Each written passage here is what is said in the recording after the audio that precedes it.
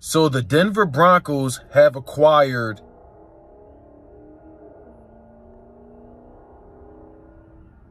Huh. Looks like a charger? Huh, okay. I'm not sure if y'all heard that, but that thing was loud, but it didn't seem like it went anywhere. I can still see the tail lights, but uh, okay. Anyway, so the Denver Broncos have acquired Russell Wilson in a trade with the Seattle Seahawks with the cost of, they gave up two first round picks, two second round picks, and I believe, what was it, a fourth round pick or a fifth round pick? It was one of them. So a total of five picks. It looks like all of them may be in 2022. So this upcoming draft. Along with three additional, along with three players. Drew Lock, Noah Fant, and what's the dude name? Calvin Harris? Charles Harris, Calvin Harris, or something like that? First of all,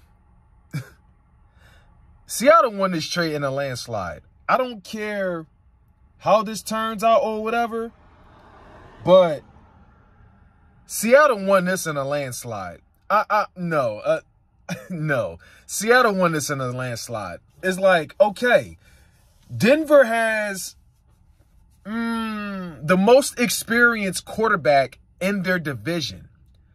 But was it really worth giving up your whole future for never mind the players. They they're not really shit.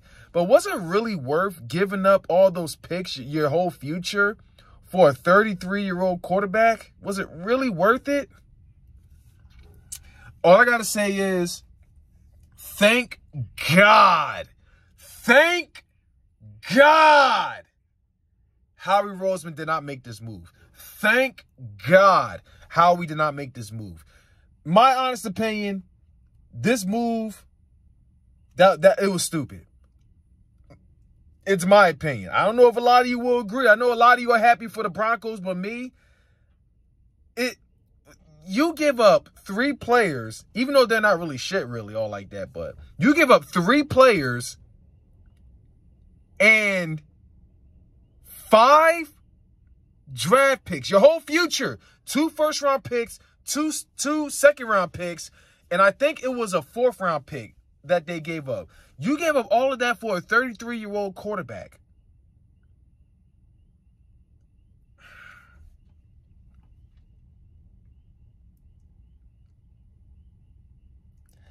I feel like the Broncos are like low key Washington of the NFC or the AFC or whatever. Both of those teams they fail in gathering quarterbacks or they they never draft quarterbacks. They they don't ever build properly. They really don't. They don't build properly. Russell Wilson is like I know for a fact you guys got a lot of holes, but you give you gave up all those first and second round picks for one quarterback that's 33 years old. That may not even have as many years in his tank. But all I'm going to say is, you got a great you you upgraded a quarterback. Okay, congratulations, but was it really worth it? That's I, I I don't know. I don't know. I feel like Seattle won this in a landslide. To be honest with you, Seattle definitely won this in a landslide. Um, Seattle's not going to be shit this year, but it, it, it's not so much of this year. You got to think about the future. Seattle's going to be, they're going to be, they're going to have an exciting future ahead of them. They got how many? Do, do they have, do, don't they mean they got three first round picks now? Or maybe they got two, or maybe three. I don't know. They didn't say exactly what the first round picks, whether if it was 2022, 2023, 2024, or whatever. I don't know. But with them not showing the year, I'm going to assume it was all all for the upcoming draft. So they're loaded. I mean, do I think they're going to use them all? I, I don't know. They're probably going to trade up, move back or whatever. Probably going to, you know, trade with some players. I don't know. You know, so with Seattle not having a quarterback now, I mean, well, they got Drew Drew Lock. I mean, that means what's going to, I mean, there, has been talked about they, they could trade Tyler Lockett or, you know, some, there's a lot of talks about DK Metcalf, not so much from the team themselves, but a lot of people are saying, Seattle, oh, you know, team should pursue for DK Metcalf. I would love for DK Metcalf to come to Philly, but do I really see that happening? Not really. I mean, I know the Eagles could definitely pursue DK Metcalf if they really wanted to. They really, you know, they, it's like, it's like, it's like, you know, they missed out on an opportunity to get him. They totally missed out on the opportunity to get him. But does DK Metcalf really want to come to Philly? That's the question. Do they really want to come to Philly? After the fact that we missed out on him for a, a, a trash wide receiver that seems to be more useful as a lineman rather than catching the ball? Like, really? I don't know. I'd be surprised if he did come to Philly, but I, I just don't see that happening. Or if we were to give up a first round pick or a second round pick, that's going to be another one for Seattle. What? We have one of the greatest wide receiving cores. Argue or or let's say arguably at least in our division, up there with Dallas. I don't know. I know they got CeeDee Lamb, but then again, Amari Cooper is also um there's talk that Amari Cooper could, you know, be gone, but I'm trying to remember who who Dallas had because my mind's been very rusty, you know, since I haven't really been talking too much Eagles recently. You know, a lot's been going on with real life. But um, I know they got it was Amari Cooper, CeeDee Lamb, uh, Cedric. Is it Cedric Wilson? You know, I'm tripping right now. I can't remember, but uh, who else, man? Um, can't remember at all. You know, I know they just franchise. They they just uh tag. They franchise tag Dalton Schultz. Uh, I heard Dak Prescott. They restructure his contract. Um, I don't know. But if DK Metcalf did land in Philly, it'd be a good debate in wide receiving cores. But at the same time, it's it's who throws to these guys in the end. And uh I, I don't know. In the end, I mean, I don't think I don't think DK Metcalf is going to end up in Philly, so I'm not going to get my hopes up too high. You know, as much as I would love to see it, but I, I just don't know. I, I don't think he wants to come to Philly, as much as I would love to. But anyway, um, but yeah, Russell Wilson is now in, well, well, well, well let, let, me say this. Let me say this. Let me say this. I don't think I added this in the video, but let me say this. The deal is done. I believe there has to be like a waivers or something like that, or it has to be Russell Wilson's. He may have the final say in this. So if he okays it, I guess it'll completely go through. If not, that's I'm going to say that, okay? Can't can't forget that. Cannot forget that. I believe there has to be some kind of waivers or something's pending or whatever, or it has to be Russell Wilson had to have the final say. I'm gonna be 100% honest with you. I feel like the Broncos gave up way too much to get Russell Wilson. And honestly, I have this feeling that Russell Wilson isn't going to fit in Denver. But you know what? That's my opinion. All I'm going to say is I'm just happy. Thank God. You know what? I thank you, Denver, in the end. Thank you, Denver. Thank you. Thank you for making this move. If Russell Wilson does okay or whatever, but thank you because there will no longer be any more talks about the Eagles fan Eagles supposedly pursuing Russell Wilson. Thank God that can come to an end now. Also, Aaron Rodgers. There's been talks that the Green Bay Packers and Aaron Rodgers had come to an agreement, I believe was like four years, four, 150 million guaranteed. I believe that's what it is. All I'm going to say is listen, I know Aaron Rodgers is what, 38 years old? In the end, he was day one with Green Bay. That's that's that's he's day one with Green Bay. Is he's day one. You feel me? I could have said the same with Tom Brady with the Patriots, but he's with the Buccaneers. But Aaron Rodgers, that was always the man with Green Bay. He was always the franchise with Green Bay. This is not a good comparison. I know it's, it's age difference or whatever, but Aaron Rodgers was day is, has always been day one with Green Bay. So He was always the man, the face of Green Bay, you know, all that kind of stuff. So, whatever we can say, whatever the money they was going to give him or whatever, I mean, listen, however I feel, that's, it doesn't matter. I knew, I knew Aaron Rodgers wasn't going anywhere. I knew that. The fact that people will really think he would go to Denver or go to Philly is ridiculous. He wasn't going to want to come to Philly. Aaron Rodgers, I don't even think he would have the strong mindset to handle that kind of criticism. Come on now. Green Bay does not even have the passion that we do. Come on now. I don't even think we've ever even heard a player that complains about Green Bay fans. Come on. Anyway, what else can we say? Uh, Mike Williams has has come to a deal with the LA Chargers. Well, Mike Williams is off the uh, off the charts. Uh, Calvin Ridley, he's he's been he's been suspended for the entire 2022 season, 2022 slash 2023 season for gambling. You know, with Atlanta. Basically, I believe it was said he he he he he forked up uh, fifteen hundred dollars in a bet with the Atlanta Falcons, and because of that, and because they don't allow gambling you know, they don't allow their players to gamble, which supposedly ruins the integrity of football or whatever. I mean, I think it's bullshit how they they make that a rule or whatever. They make it a policy, but in the end, a lot of players knew. Players, especially Calvin Ridley he himself confirmed that he knew he wasn't supposed to do that. And because he got caught, you know, now he's pretty much SOL for the entire 2022 season. He did it to himself. And the reason why I want to mention this is the reason why I'm mentioning all of these players is because the Eagles supposedly, you know, there was supposed to be talks about, you know, them supposedly come to the Eagles or whatever. I would have liked Calvin Ridley come to Philly, but in the end, it is what it is. He made that dumb decision. That's a decision he's going to have to suffer now. Pretty much, he's going to be made an example.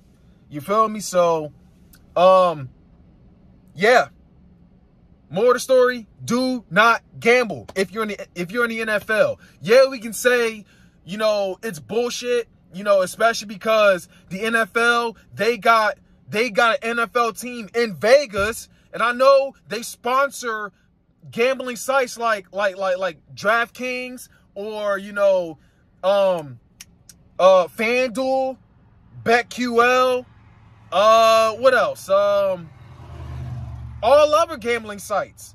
The NFL, you can say they're a bunch of hypocrites for doing that, but not allowing their, their, their players to gamble. It, but in the end, that's policy. If you're not supposed to do it, you shouldn't be doing it. Rules are rules. It is what it is. You get paid millions. Why are you gambling in the first place? You get paid millions, for the most part, to lose money.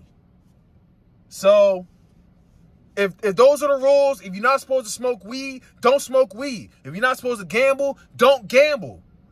You know, if you're not supposed to take PEDs or whatever, don't take PEDs. Those are the rules. Especially make that kind of money. But that's me, though. That's me. If I'm getting paid a good amount of money, I'm to stay in my lane. I'm to do my job. That That's just what it is. You feel me? But if I'm in a perfect position to take care of my family, to get a nice house, to live life and take care, you know, do all that kind of stuff, put my family in a better financial situation, you damn right. I'm to stay in my lane. I'm to follow rules and, you know, and that's that. You know, but these players don't really think like that. Is it bullshit for what they did? Yes, it is. But in the end, they knew what they were doing. That, those are the rules. You got to follow this shit. We can sit here and say, oh, players were, you know, there be players that, that, that be domestic violence or whatever, but they don't suffer that kind of punishment that, you know, that Calvin Ridley just suffered. Meanwhile, yeah, that is a fact. There, there are some crimes that have committed. They're not out the entire season. I mean, but then again, Ray Rice, he hasn't really, the no NFL team has even looked at his direction since, you know, what he did to that girl in the elevator. You feel me? So, I don't know. There's, oh, you know what? I can't remember. There, there was another one. I think he was with Seattle. I'm trying to remember what team he was with. I'm trying to remember who he was with. But he he was dating. I think she was a. I think she was black, and he thought he was God or whatever. He he always he he was beating her and talking about how he thought she was dead and everything, all that type of shit, man. I don't know what happened to him. I don't know if he's still on the football team or they cut him or whatever. I don't know. But I, I, I don't know, man. You know, you know how it is, but all, I'm gonna say is, man, listen. It's unfortunate what happened to Calvin Ridley, but he said it to himself. You know, he knows he wasn't supposed to be gambling, especially after, you know, you know, the things how it turned out with him and the Falcons. I don't know, man. Um I'm I'm just going to say this, man. NFL players, look at Calvin Ridley for example. Do not gamble. Don't gamble. Don't smoke weed. Don't do all that bullshit. Y'all can call me a sellout, call me whatever, man. Look, it is what it is. Don't fucking gamble. If you want to gamble, don't play on the NFL team. But that's that's me though. That's me though. That that's just me though. Anyway, man, what else can I say? Uh, Mike Williams have been signed. Calvin Ridley is suspended. Um, both of them is officially off the market. Well, Calvin Ridley for now, they're off the market. Um, DK Metcalf, there's talks about him. We can finally stop talking about Russell Wilson and Aaron Rodgers. Um, Deshaun Watson, please stop talking about Deshaun Watson. I do believe he is innocent until proven guilty. Yes, he is. A, he will be a huge upgrade to, to Jalen Hurts. But I'm not giving up multiple first round picks for the guy. Sorry, not sorry. I'm not doing it. I'm not giving up multiple first round picks for the guy. Just not going to happen. But that's just me. But I, I wouldn't I wouldn't do it. I wouldn't do it. To be cheap. uh, maybe maybe one first round, second round pick or whatever, whatever. But multiple, no. Especially we got all that situation going on. No. Eagles fans, y'all tripping. I'll take Jalen Hurts any any any day, any day. I do believe Deshaun Watson is innocent until proven guilty. I do believe that um I'm not even tripping as far as him having over 20 different massage therapists or whatever. Honestly, I don't care. There are 32 teams in the NFL, most of them in different states. If, if they all can't follow you, at least I don't know where they all stand at. I don't know. Or maybe because not everyone it has an open schedule. That's why I at least try to look at it as, okay? Because I am giving him the benefit of the doubt. Because I'm giving him the benefit of the doubt, because I believe he's innocent until proven guilty, I don't want to believe that, you know, that he did do what he did until I see the evidence. That's why I'm going to keep that same energy and say, I don't really care that he has that many massage therapists. Maybe because not all of them is always available when he is. That's why he's got multiple. I don't know. But I'm just going to I'm going to keep it at that. If it does turns out that he is he did what he did, then to hell with him. His ass shouldn't be in the NFL and you know, that's that. But if it turns out he is, he is he really is innocent. If it really does turns out he is innocent, I feel like all those females should be should be you know charged. They should be locked up. They should all lose their license because there are females in this world that do lie about you know this and that. You feel me? And because they fail to come up with evidence themselves text messages or video footage or whatever i feel like if you're going to put somebody's career on the line I feel like their, their career should also be on the line. But that's just me. Anyway, that's it about Deshaun Watson. Not until, not until, you know, the, the, the, the, the, answer really does come out. I don't want to even look in that direction of, of Deshaun Watson. I believe he's innocent until proven guilty. And if I got the words mixed up, my mistake. Um, if he's guilty for what he did, to hell with him. I hope they wipe his face from the NFL. Or if it does turn out he's innocent, all right, cool. Those females should get charged. They should all lose their license. That's how I feel because females, too, they also do lie. Do I believe any of them is lying? I don't know. I don't know. I believe he's innocent until proven guilty. I'm just going to keep it at that. Anyway, on to the next one. Um, I don't think there's actually I don't think there's any else to talk about.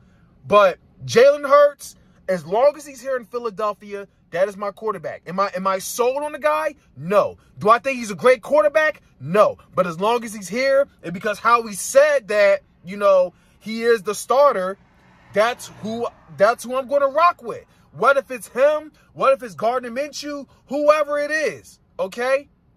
Whoever it is, that's who I'm going to rock with. But if we're going to go sign a quarterback or draft a quarterback, I, I don't think I don't think we're to draft the I, I don't think any of these quarterbacks is worth, you know, drafting in the first round. But if we're to go for any quarterback, just please let it be an upgrade. Put us in a winning situation, especially that's not going to cost too much, okay? We got way more problems than we got way too many problems with this team. Linebackers, corner, if Steven Nelson does walk, safety, if Rodney McLeod does walk and Anthony Harris walks, defensive lineman, okay? More preferably, edge rusher. There's way too many problems, and, and Deshaun Watson is not going to fix it. And I've said this for the hundredth time, but that's all I'm going to say. I know I'm about 20, 21 minutes in or so, but that's all I'm pretty much going to say. So, um, and for someone that was saying, oh, we need Deshaun Watson. No, speak for yourself. I don't, we don't need Deshaun Watson. We don't. I'm not to, I'm not in any rush. I, I want to push for it. But if it does happen, all I'm to say is please don't let it be multiple first round picks. Anyway, um, I'm a bit behind once again, but hey, I said what I said. Moves have been dealt. And uh, yeah, let me know how you feel in the comments below. She made as you check on out here. It is always fly Eagles fly. I'm happy where we at. And I want to say shout out to Howie Roseman for not get for not put, making that push. You feel me? For Aaron Rodgers, for Russell Wilson. Shout out to Howie Roseman.